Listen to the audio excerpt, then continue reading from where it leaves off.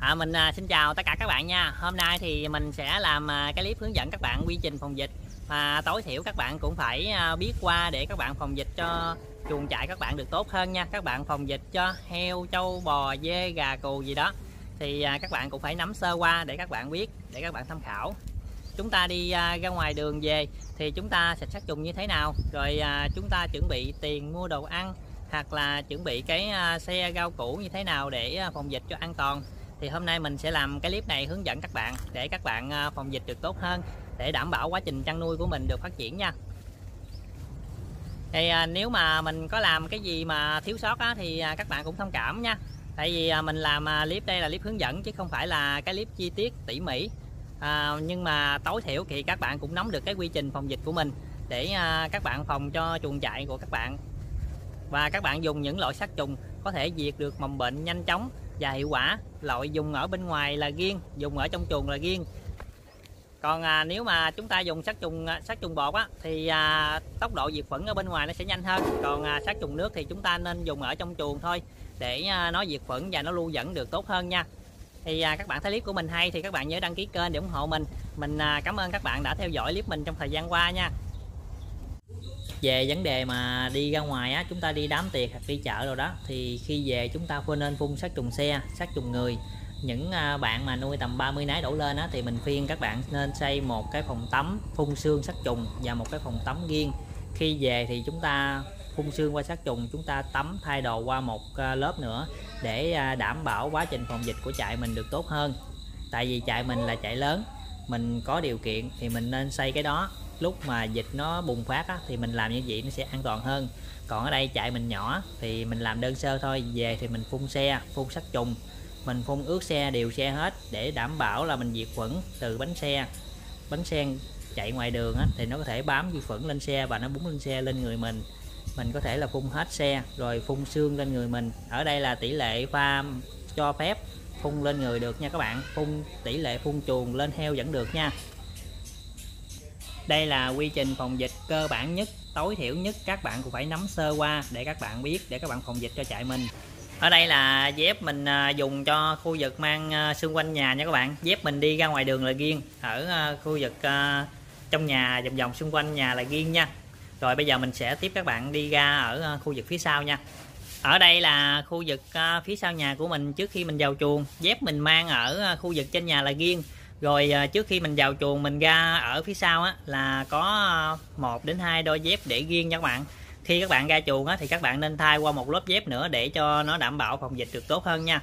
Nếu mà cần thiết nữa thì các bạn pha thêm một bình sát trùng nữa các bạn xịt lên tay chân các bạn để à, diệt khuẩn cho nó an toàn hơn. Rồi à, trước khi mình à, vào chuồng á là mình à, trước cửa chuồng của mình á, là sẽ có một đôi ủng hoặc là một đôi dép riêng để à, chúng ta thay qua một lớp nữa, để trước khi chúng ta vào chuồng, đảm bảo à, phòng dịch được tốt hơn. Đây là mình à, chuẩn bị đôi ủng nè. Trước cửa chuồng có thể là mình mang ủng hoặc là mình mang dép nha. Đây, ở trong chuồng thì mình cũng có một đôi dép sẵn. Rồi trước cửa chuồng mình để một đôi ủng. Sau khi mình đi đến cửa chuồng á, thì mình phải thay qua một lớp ủng hoặc là một lớp dép để nâng cao cái an toàn sinh học cho trại mình, để quá trình phòng dịch của trại mình được suôn sẻ, được thành công đây là cái quy trình cơ bản tối thiểu nhất mình đã đưa ra cho các bạn để các bạn làm tư liệu tham khảo.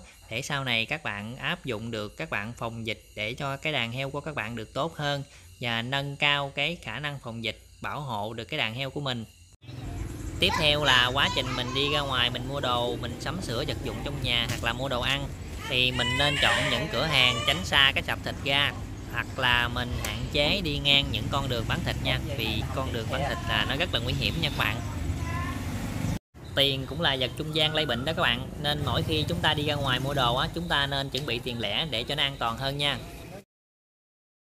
Ở đây là khi mình chọn à, mua rau củ á, thì mình hạn chế là tiếp xúc với à, cái nguồn thịt nha các bạn. Tại vì nếu mà các bạn tiếp xúc với cái nguồn thịt đó thì à, nó dễ gây cái dịch bệnh nha lưu ý về à, cái vấn đề này nha.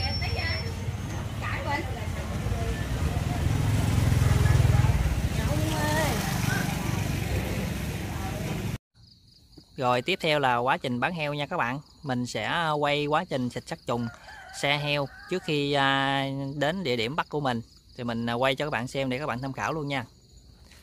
Đây, mình sẽ xịt sát trùng xe heo cho các bạn xem tham khảo khi xe heo tới thì mình sẽ xịt đều xe heo luôn nha các bạn. Xịt bánh xe, gầm xe.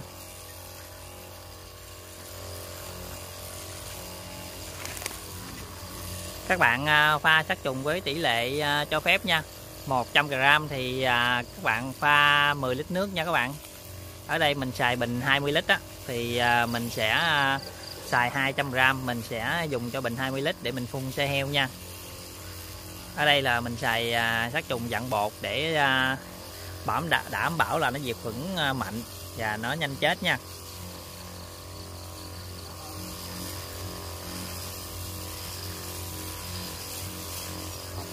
Đây mình xịt chứ gầm luôn nha các bạn.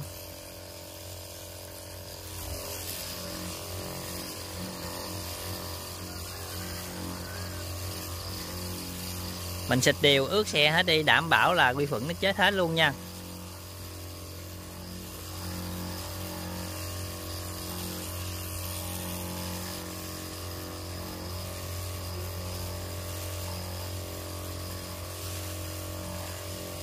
Hai xe này là chở được à, từ 6 đến 7 con nha các bạn, chứ không có chở nhiều được nữa, tại vì heo nó bự á.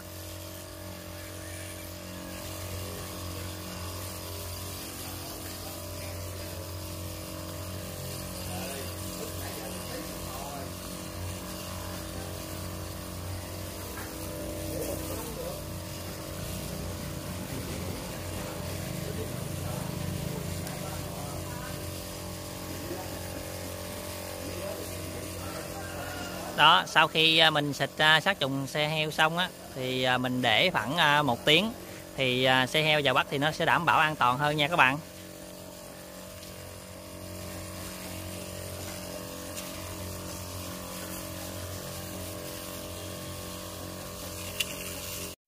Rồi, heo đã lùa lên xe nha các bạn. Mỗi xe là ba con. Trong quá trình bán heo là mình ở trong chuồng mình lùa ra là mình không cho hai anh này vô chuồng, mình lùa ra ngoài rồi hai anh này cho vô lòng rồi cho lên xe nha. Tại vì nếu mà cho hai anh này vô chuồng nữa thì mầm bệnh sẽ tiến thẳng vô chuồng mình là dễ gây ra dịch bệnh nha các bạn. Chiều nay 4 giờ chiều là có clip hai ông lên đó nha. 4 giờ chiều là có clip khúc này đó. Rồi bây giờ heo đã lên xe đi à, về lò mổ nha các bạn. Bây giờ thì à, mình à, tiếp tục công việc của mình là mình phun sát trùng, khử khuẩn xung quanh khu vực mình bán heo nha à, hai xe này thì chở chỉ được 6 con thôi. Tính ém thêm hai con nữa mà em không nổi các bạn. Heo nó to quá.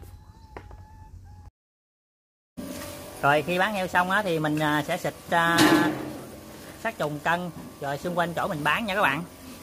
Ở đây thì mình uh, xịt xung quanh cân nè. Mình xịt giáp vòng cân hết luôn nha. Ở đây thì mình sẽ xịt theo cái đường xe nha các bạn. Xe đi tới đâu thì mình xịt tới đó mình xịt ra tới lộ luôn nha. Nhiều khi à, cái à, mầm bệnh đó các bạn nó rớt xuống đất nè là nó theo đường xe chạy á, là bắt buộc là mình phải xịt theo cái đường xe chạy này nè để đảm bảo là mình diệt chết vi khuẩn luôn chết mầm bệnh luôn nha. Mình xịt xung, xung quanh khúc lộ của mình luôn nha các bạn. Lộ của mình là dài 64 mét nha.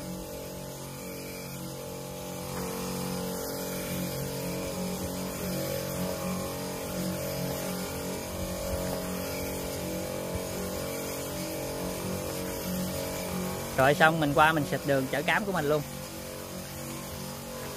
Đường này hư rồi chưa có sửa nữa các bạn ơi. Mình à, cảm ơn các bạn đã theo dõi hết clip của mình. À, các bạn thấy clip của mình hay thì các bạn nhớ đăng ký kênh để ủng hộ mình. Đầu năm mới thì mình mến chúc các bạn gặp nhiều may mắn thành công trong công việc. Mọi việc đều suôn sẻ theo như ý muốn của mình. À, mình à, mến chào các bạn và hẹn gặp lại các bạn vào những cái video clip heo đẻ kế tiếp.